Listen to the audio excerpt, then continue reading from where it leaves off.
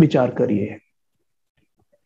पहले हम सूक्ष्म कर्मेंद्रियों की अगर बात करें तो मेरे पास एक शक्तिशाली मन है। और मन को तो हम बता चुके हैं, आप समझते हैं, मन तो जिनी है। राजा की सारी प्रॉब्लम खत्म कर सकता है तो हमारी। तो मेरे पास शक्तिशाली मन है मन रूपी धन मेरे पास है। शुक्रिया मेरे प्यारे शिव बाबा, आपका बहुत बहुत शुक्रिया। कि आपने मुझे एक शक्तिशाली मन दिया है। अभ्यास करिए थोड़ा। मेरे पास डिवाइन इंटेलेक्ट है। होली हंस बुद्धि है। जो ज्ञान मोती ही चुपती है। जो व्यर्थ छोड़ समर्थ को धारण करती है। मेरे प्यारे शिव परमात्मा, आपका कोटि कोटि शुक्रिया। आपने मुझे दिव्य बुद्धि दी है। संस्कारों के बारे में विचार करें।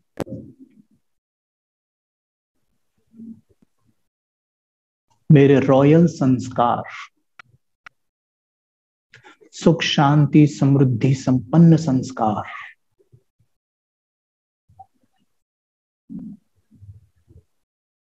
संस्कार रूपी धन मेरे पास है। इस आत्मा के पास संस्कार नहीं, उसके पास कुछ नहीं।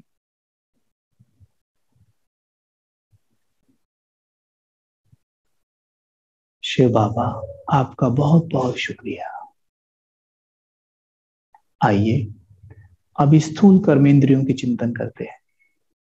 आँखें, आँखों पर पट्टी बाँध लीजिए। और देखिए दुनिया कैसी दिखाई देती है। सोचिए। एक मिनट आँखें बंद है तो सब काला काला दिख रहा है। आँखें ना हो तो पता चले कि आँखों की कीमत क्या है। कोई हमसे कहे कि मैं आपको एक करोड़ रुपए देता हूँ, अपनी आँखें मुझे दे दीजिए, हम देंगे। आँखों की कीमत। आँखें छोड़िए। कोई आपसे बोले, एक अंगुली काट के दे दीजिए, करोड़ रुपए दे दूँगा। नहीं देंगे। देखिए कीमत, इस शरीर की कीमत भी बहुत है। हम में से अधिकतर 99 परसेंट से भी ज़्यादा सर से पाँव तक सभी स्थूल कर्मेंद्रियों से भरपूर हैं। सबके दो पाँव, दो हाथ, दो आँखें दो कान सबको हैं।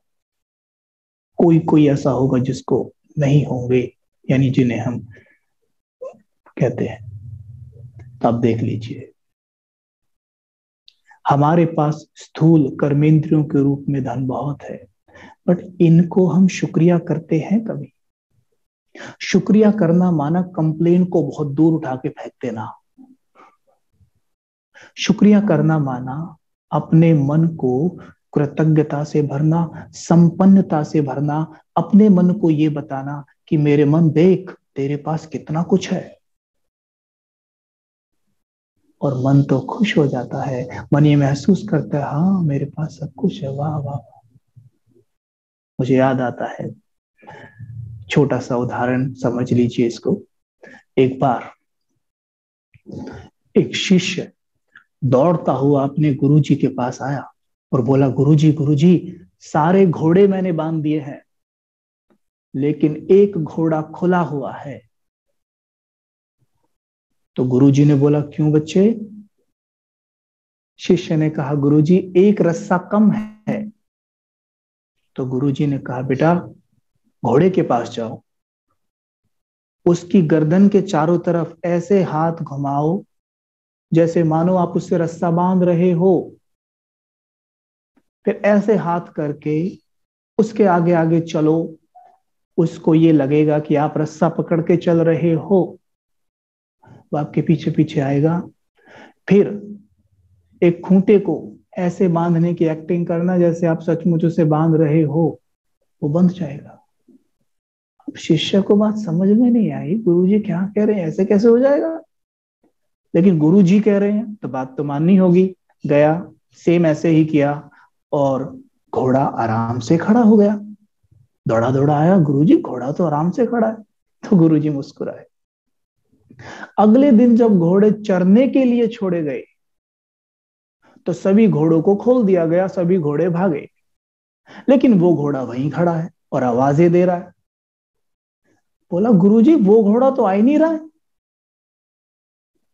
तो गुरुजी ने कहा, बेटा, पहले उसका रस्सा तो खोल। रस्सा खोल उसके मन का।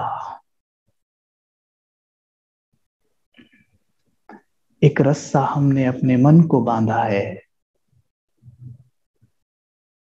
कि मेरे पास ये नहीं है, मेरे पास ये नहीं है, मेरे पास ये नहीं है, और सब कुछ होते हुए भी मन अभी भी यही कहता रहता है कि मेरे पास ये नहीं है, मेरे पास ये नहीं है। ईश्वरीय ज्ञान भी ले लिया, फिर भी हम में से कुछ एक आत्माएँ ये कंप्लेन करती हैं कि बाबा मेरे पास ये नहीं है, बाबा ये नहीं है, बाबा ये दे दो, ये दे दो, ये दे दो। मेरे पास ये नहीं है। लेकिन एक शब्द बड़ा प्यारा यूज़ होता है, नियामते गिनना।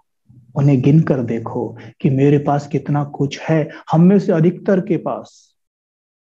95 परसेंट चीज़ें हैं, केवल पाँच परसेंट नहीं है। लेकिन चिंतन उन पाँच परसेंट का ही करते हैं जो नहीं है।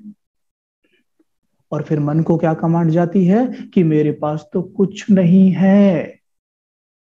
जैसे संपन्नता संपन्नता को आकर्षित करती है, वैसे ही एक गरीब मन, यानी मन की गरीबी गरीबी को आकर्षित करती है।